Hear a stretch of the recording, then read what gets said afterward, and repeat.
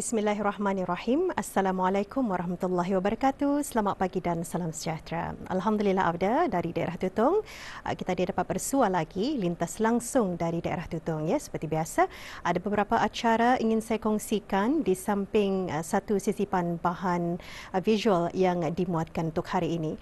Baik, dalam bulan Mac ini ada dua acara dalam waktu terdekat ini akan diadakan. Jadi kita kongsikan dulu mengenai majlis pelancaran pemulihan dalam komuniti di Rumah Cawangan Tutong ya sempena ulang tahun 37 penubuhan kaca. Acara ini diadakan pada 2 Mac 2023 uh, bertempat di Pusat Kaca Cawangan Daerah Tutong ya dan insya-Allah acara akan bermula pada pukul 10 pagi. Dan pada 5 Mac 2023 akan diadakan satu aktiviti bersempena dengan sambutan Hari Kebangsaan Negara Brunei Darussalam iaitu Song Sung Noh Jati Li Danau 2023 uh, Lakastah kita ni ke danau. Acara ini juga akan uh, memuatkan beberapa aktiviti yang boleh disertai oleh penduduk-penduduk kampung danau. Antaranya menyusur sungai danau, kayuhan basikal santai, gerai jualan penduduk kampung danau, aktiviti berjalan kaki menyusur pantai danau, adanya juga aktiviti senam robik sukaneka yang menarik dan banyak lagi dan juga cabutan nombor bertuah ya. Jadi jangan lepaskan peluang penduduk-penduduk Kampung Danau dialu-alukan untuk hadir menyertai acara yang akan diadakan pada hari Ahad 5 Mac 2023 dan acara ini tertumpu di gelanggang sukan Kampung Danau Tutung bermula pada pukul 7 pagi sehingga 4.30 minit petang. Jadi itulah Auda dua acara yang dapat kita kongsikan mengenai acara yang akan berlangsung di daerah Tutung ini. Baik untuk seterusnya kita beralih menyaksikan bahan visual yang kami sediakan.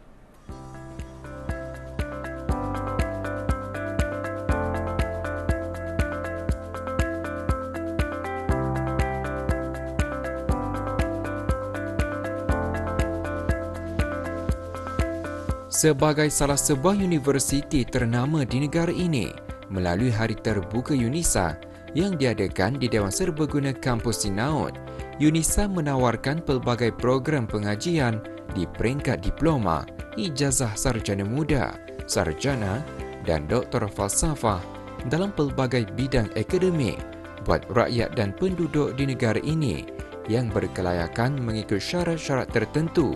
Seperti mana yang dikongsikan oleh Awang Afi Aizuddin bin Asri, pegawai kerja iReady Unisa, semasa ditemui pada acara tersebut yang diadakan di kampus berkenaan yang antara lain bertujuan untuk mempromosikan kampus Sinaun juga sebagai kesinambungan pada Hari Terbuka Unisa yang telah pun diadakan di kampus Gadong tempoh lalu. Ia juga merupakan inisiatif dari pihak universiti untuk memberikan gambaran dan pemahaman yang lebih jelas mengenai pelbagai program pengajian yang ditawarkan kepada bakal penuntut yang berkeinginan melanjutkan pengajian ke universiti berkenaan.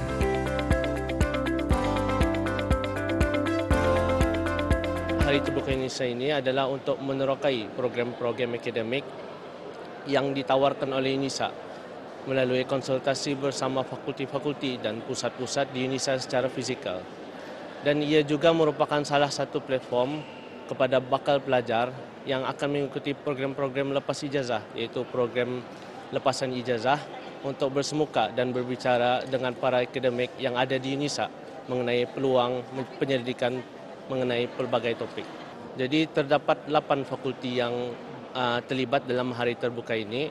Ya, fakulti yang pertama iaitu Fakulti Syariah dan Undang-Undang, Fakulti Pengurusan Pembangunan Islam, Fakulti Usuluddin, Fakulti Bahasa Arab, Fakulti Ekonomi dan Kawangan Islam, Pusat Penyelidikan Halal dan Toiban, dan Fakulti Teknologi Islam. Bagi di kampus Naut Unisa ini, uh, terdapat dua fakulti yang ditempatkan, iaitu Fakulti Pertanian dan Pusat Penyelidikan Halal dan Toiban yang mana uh, kedua fakulti, fakulti ini menawarkan program se- selama empat tahun dan uh, Pusat Pendidikan Halal Tuiban ada menawarkan satu program bagi program prasesuazah yaitu Sarjana Muda Sains Halal yang mana program ini adalah uh, selama empat tahun dan di, uh, dan dibukakan uh, kepada pelajar-pelajar lepasan A-level ataupun pelajar-pelajar lepasan STPUB iaitu sijil tinggi per pelajaran agama Brunei, national diploma dan sebanding dengannya.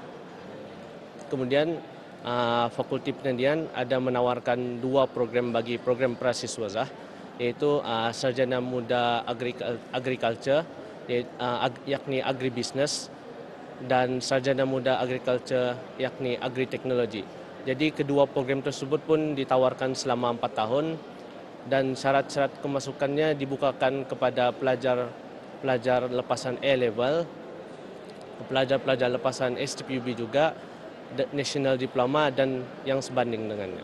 Jadi UNISA uh, memberi peluang kepada pelajar-pelajar lepasan A-level, lepasan STPUB iaitu sijil tinggi per, pelajaran agama Brunei, lepasan National Diploma dan atau sebanding dengannya dalam memilih pelbagai program yang ditawarkan di UNISA.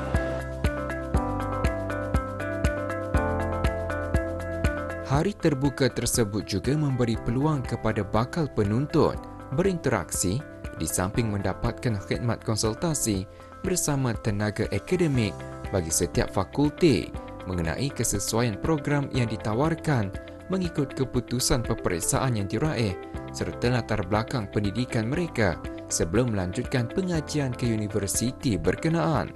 Perkara ini penting bagi bakal penuntut untuk mengetahui apakah yang bakal mereka hadapi dan jalani sesudah mendaftarkan diri bagi program yang ditawarkan. Dalam tinjauan ini, beberapa penuntut UNISA yang sedang melanjutkan pengajian di kampus Sinaun mengongsikan pengalaman mereka selama di universiti berkenaan bertujuan memberikan gambaran buat bakal penuntut mengenai jangkaan yang akan mereka hadapi setelah menjadi mahasiswa atau siswi di UNISA.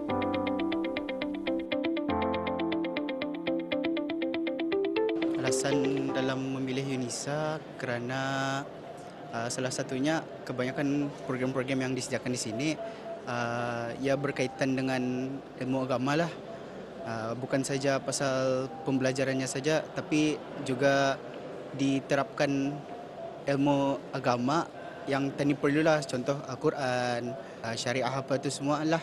Uh, setelah keluar daripada UNISA ni uh, yang pertama sekali lah expect akan dapatkan ilmu yang bermanfaat itulah yang boleh kami gunakan lah uh, dalam kehidupan sehari-hari itu juga. And mungkin keluar dari UNISA ni expect boleh menyambung ke tahap lebih tinggi lah daripada uh, sarjana muda. Mungkin akan mengambil master atau PhD. Uh, UNISA ni banyak memberikan uh, peluang pintu peluang kepada pelajar bukan sahaja daripada segi akademik dan duniawi namun juga daripada uh, segi kokurikulum dan uh, akhirat.